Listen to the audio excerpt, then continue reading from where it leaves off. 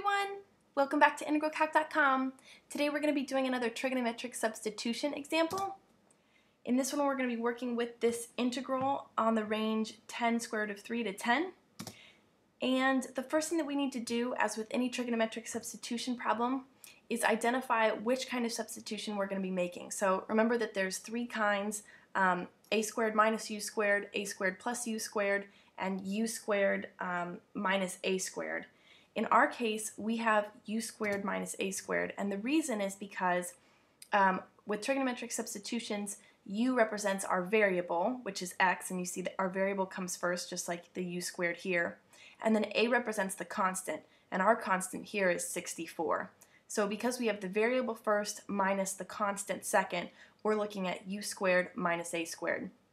So along with this um, u squared minus a squared comes these two um, formulas here that we're going to be using later. So um, let's go ahead and do our trigonometric substitution setup.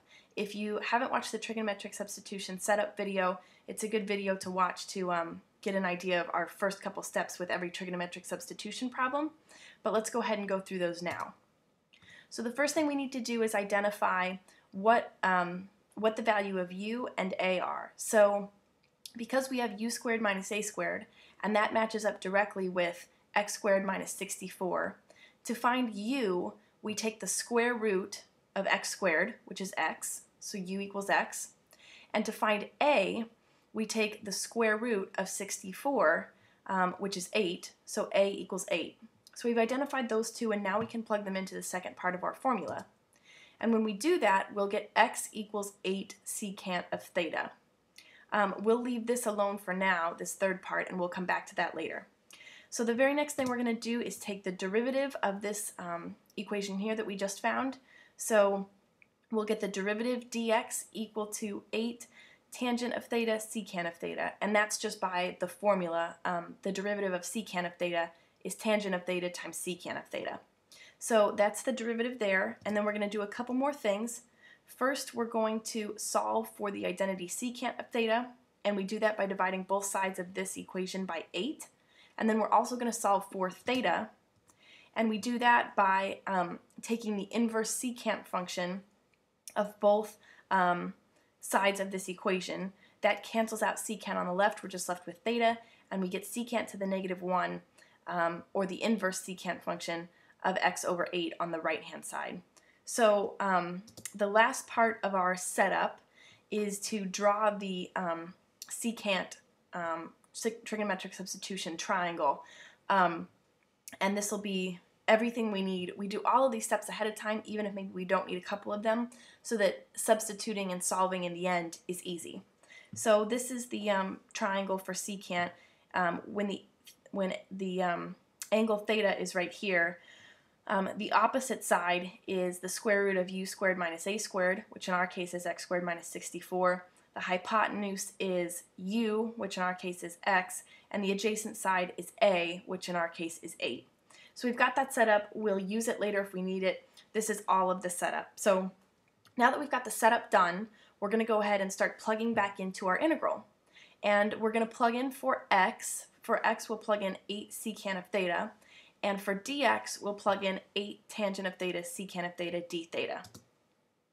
So when we do that here, you can see we made the substitution 8 secant theta, and we made the substitution for dx, and this is our setup for the integral. Now from here, we're going to start simplifying. So here's what that looks like. Um, the first thing we're going to do, we're going to move this 8 tangent of theta secant of theta to the numerator because these two things are multiplied together and we are going to distribute this squared exponent on the 8 secant theta, which will give us 64 secant squared of theta. Then we will factor what's inside the square root. We'll factor out a 64 and we'll get 64 times secant squared of theta minus 1.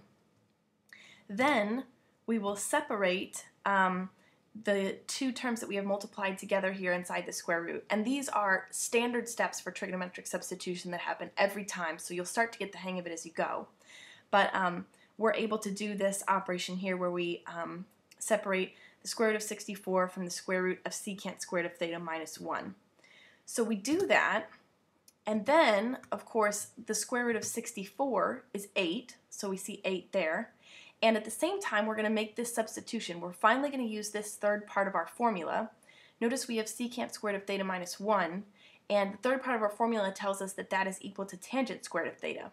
So we go ahead and we make the substitution and put in tangent squared of theta. Then, of course, we'll cancel out our 8's because we have 1 in the numerator and denominator, so they go away. And then we have here the square root of something that's squared. So instead of the square root of tangent squared of theta, we'll just end up with tangent squared of theta in its place. As you can see, we can cancel out the tangent of theta in the numerator and denominator. So our integral, um, we're just left with secant of theta d theta. Now, um, the formula for the integral of secant of theta is the natural log of the absolute value of secant of theta plus tangent of theta. And that's just um, a trigonometric integral formula. So helpful to know that one here, obviously. Um, but we take the natural log of secant of theta plus tangent of theta, and then we'll be evaluating um, from 10 square root of 3 to 10. So let's go ahead and start evaluating. We're going to be um, using these two formulas. Remember when we set up this problem, we solved for theta, and we got um, the inverse secant function of x over 8. We're also going to need this formula here, which I'll explain in a second. So um, the first thing we'll do is substitute back for theta. Um, remember we solved for theta here, so we'll go ahead and plug in the inverse secant function of x over 8 for theta um, both here and here. And um, that's what it looks like when we replace everything. Then our next step, um, here for this first term, secant and the inverse secant function cancel one another. So these go away and we're just left with x over 8. So that's the first term.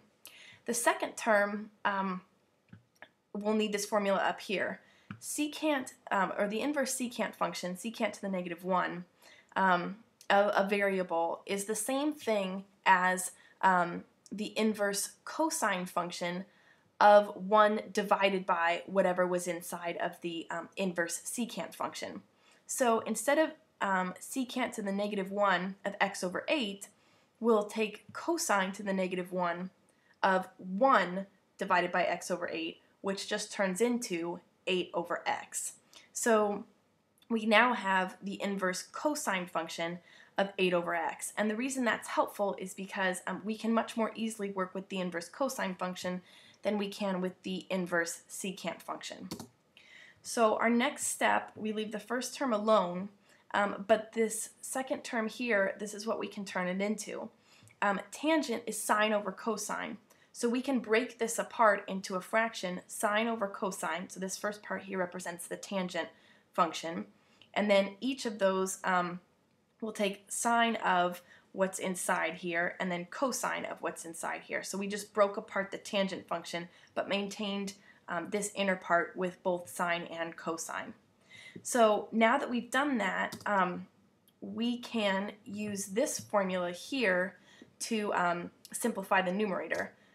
The denominator, let's start there, here the denominator. Of course we have cosine and the inverse cosine function, and those two will cancel one another. So we'll just be left with 8 over x in the denominator as you see down here.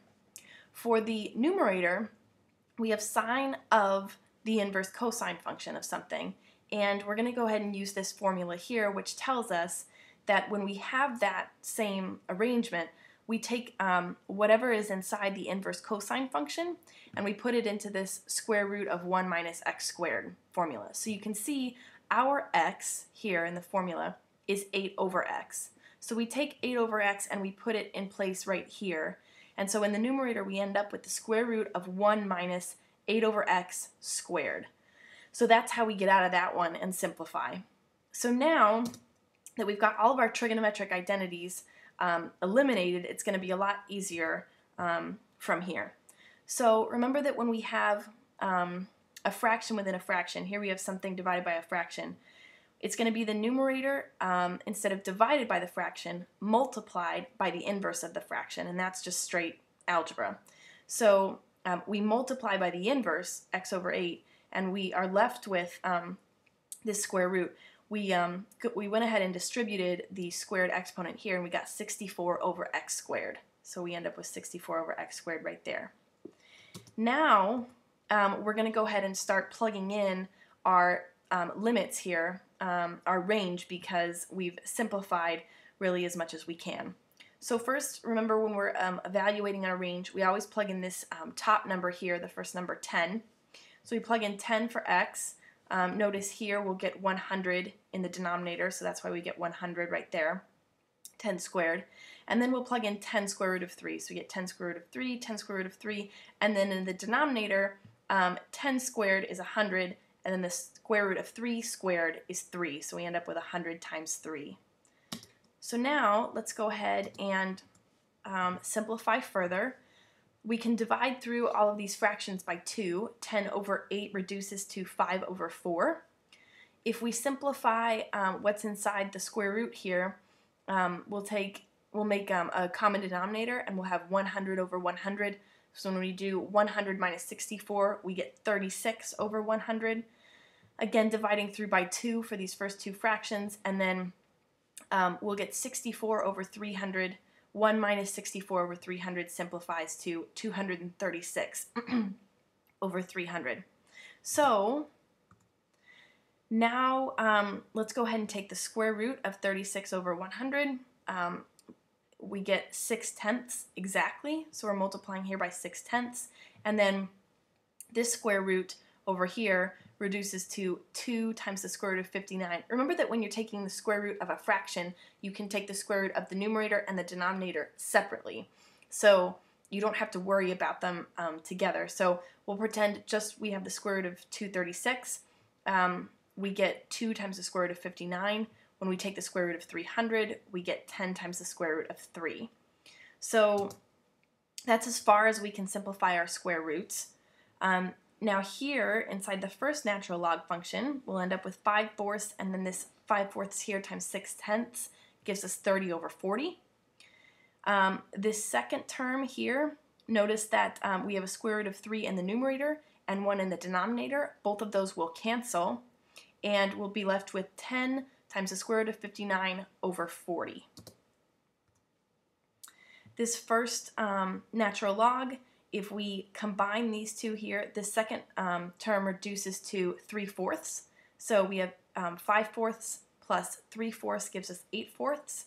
And then here um, we'll find a common denominator with this first term, so we'll make this um, 50 times the square root of 3 over 40. And when we combine those, um, we'll get 50 square root of 3 plus 10 square root of 59 all over 40. We combined these two fractions.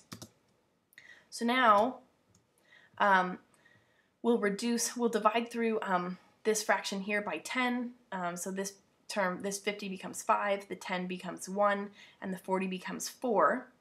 And now um, we're about to use a um, property of natural logs. Um, when we have one natural log minus another natural log, what we do is we put the first one over the second one. We combine them into one fraction. So the first one goes to the numerator, and the second one, the entire thing, goes to the denominator. And we have natural log of one giant fraction. But again, remember that instead of dividing by a fraction, we can multiply by its inverse.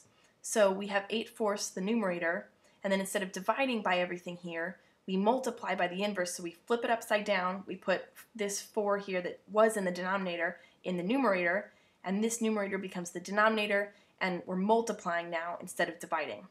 And now you can see that when we um, multiply these together, the 4's will cancel, and in our final answer we'll be left with just 8 divided by 5 square root of 3 plus the square root of 59, and of course we're taking the natural log of that whole thing. So I know that was quite a problem, but I do hope it helped you guys, and I will see you in the next video. Bye!